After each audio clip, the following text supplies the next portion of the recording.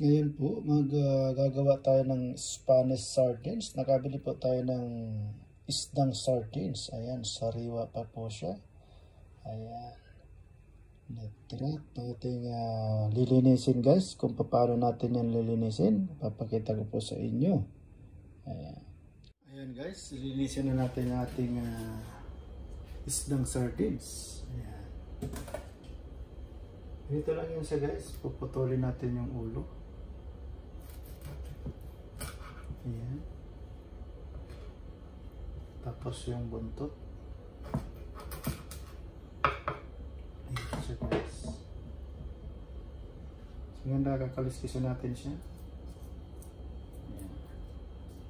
Nakakaliskisan natin yan guys kasi mayroon siyang kaliskis. Pero dandahan lang guys yung pag tanggal niya ng kaliskis kasi para hindi siya ma Ayan.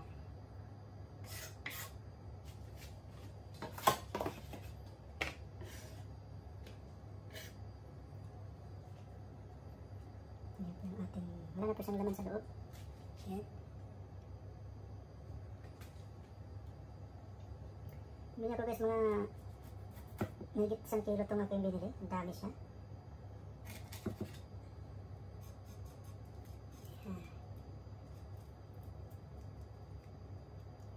Tanggalin natin yung kanyang kaliskis. Masarap to guys. Yung uh, gagawin natin uh, sardines. First time ko lang ito guys gumawa. Tingnan natin kung mape-perfect ba ni JR gumawa ng sardinas. Yan.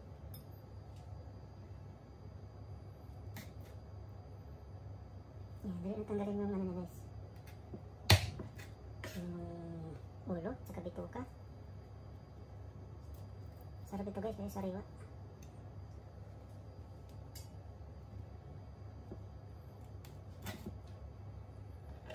Yan, guys yung ulo, hihilahin mo lang siya. Sama na yung bituka niya dyan. Sama na yung uh, ano niya. Para hindi masira yung kanyang ano, katawan, yung buo.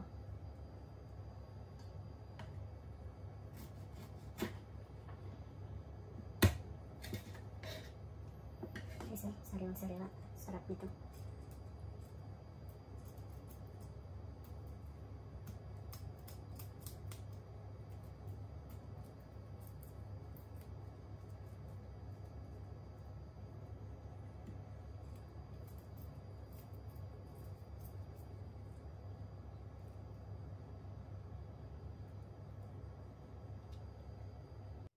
Ayan guys, natapos na natin siyang linisan. Ayan. O, oh, diba? Maganda siyang ulo. Nandito na ang mga ulo.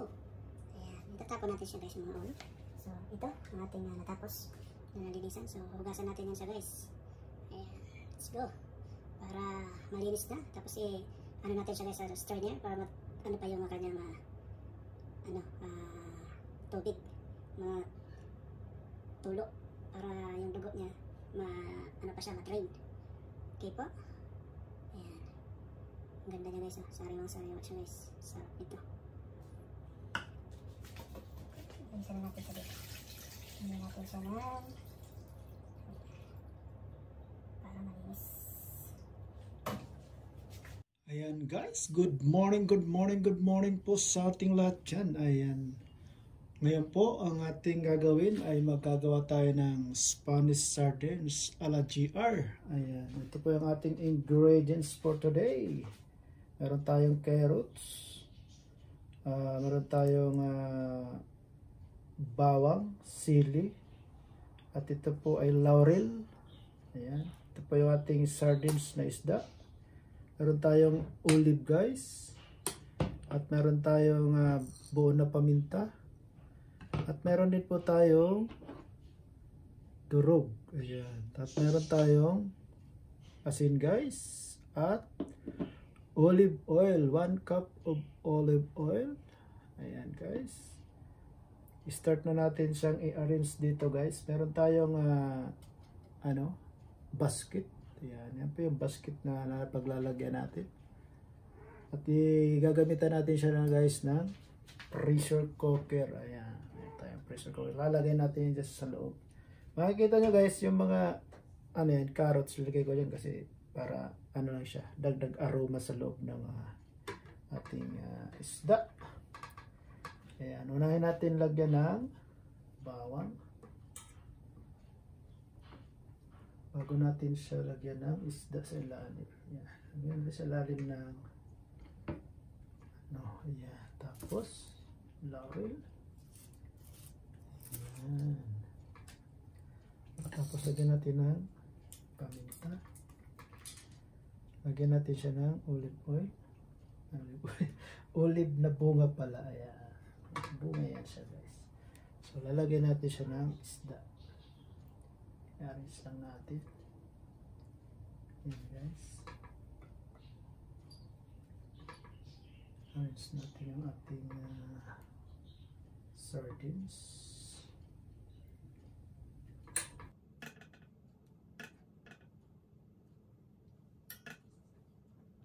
Bumili kayo ng ano guys, ng ah, pressure cooker. Yung meron siyang basket na ganito para pag magagawa kayo ng ah, sardines, meron siyang lalagyan. Pag, pag inangat nyo siya, hindi siya masusunog dun sa ating, uh, lagyan natin siya ng carrots.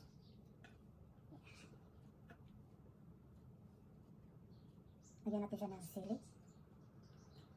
Ayan. Ayan. Tapos lagyan naman natin siya ng bawang.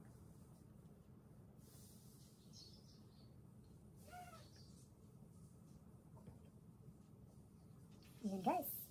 Lagyan natin siya ng paminta. Lagyan natin ulit siya ng isda.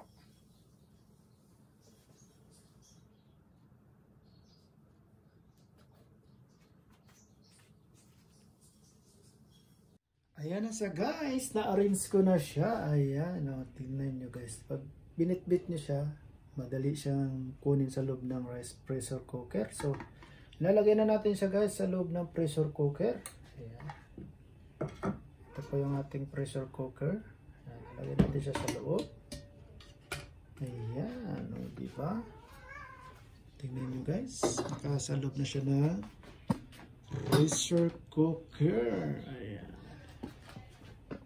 din sa loob ng pressure cooker guys so lalagyan na natin siya guys ng ating asin ayan buburan na natin siya ng asin bago natin siya lagyan ng ayan ang asin nga pala guys uh, one and a half tablespoon po yan, yan. Lagyan natin yan. 1 and a half tablespoon. Sa kalahating kutsara. Yan. Para mapaserve yung ating yan guys. At saka lalagyan natin siya guys ng water. Yung water natin guys, ano siya dun sa isda, naka pantay para patutuyuin na ano natin siya sa ano niya Ayan. sa tubig niya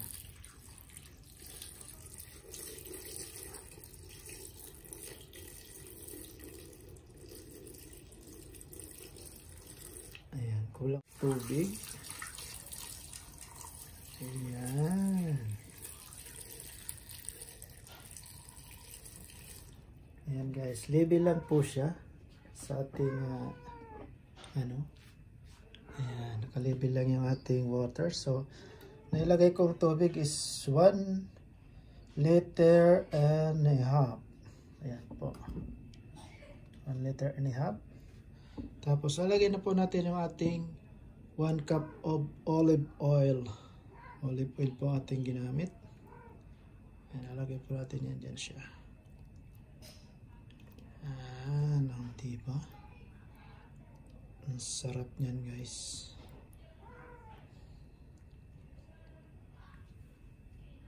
Ayan. Ating pong ginamit na olive oil is ayan, RS olive oil. Ayan. Let's go, guys. tatakpan na natin siya at isasalang na natin. Uh, one hour and a half po ang ating uh, gagawing uh,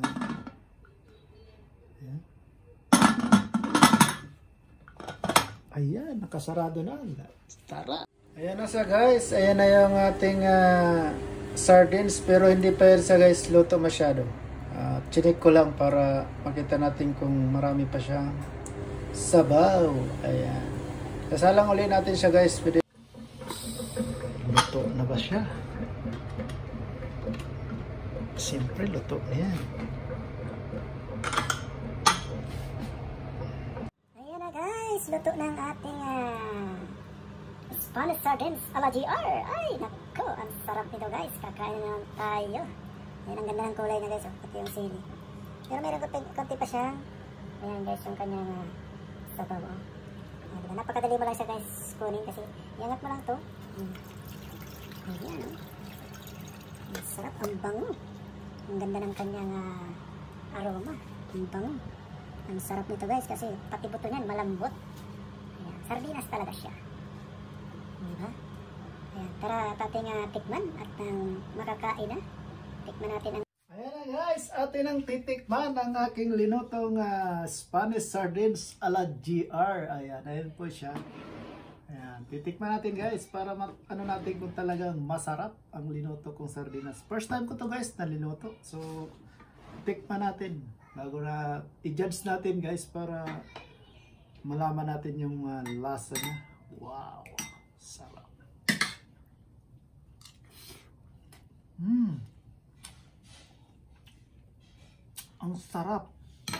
Lambot na ng ano nyo. Isda. Wala na siyang tinik. Sardinas na sardinas na tala siya guys.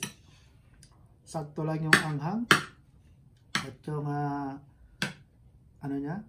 Timpla. Sakto siya. Na perfect. Ayan. Tapos yung uh, aroma niya guys. Ang sarap ng amoy. Dahil sa olive oil saka yung uh, amoy ng laurel at yung carrots So, sili, paminta. Ayan. Sardinas. Ayan guys, love shoutout sa iyo dyan, Kuya Serves, Pogs, at Nieves, Kuya Hector, at sa mga Whitey family. Ayan, love shoutout sa iyo dyan. Katiko Circle, West Kasambahay, Madam Alma, ayan, Sisilanang, ayan, sa lahat po, mega love shoutout. Lalabs Banilin, Mega Mega Love shoutout. Ayan. Kung nakikita nyo guys, nag-iisa si GR kumakain ngayon. Nag-iisa si GR ngayon. Almusal at tanghalian na ito guys. Ayan. Kasi may pasok si Lalabs Banilin. Ayan. May pasok sa ngayon guys kasi birthday ng kanyang alaga. So, nag-iisa si GR sa bahay. Ayan.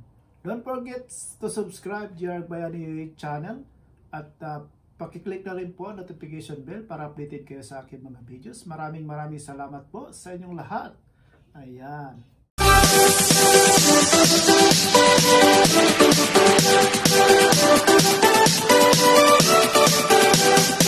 Thank you.